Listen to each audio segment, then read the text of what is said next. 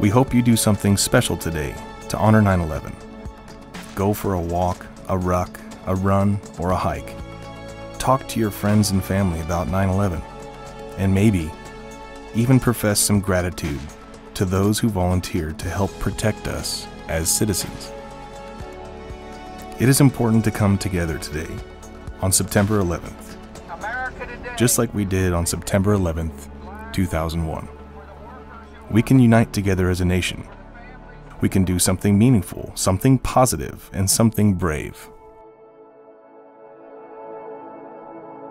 Go lead, go learn, and go inspire.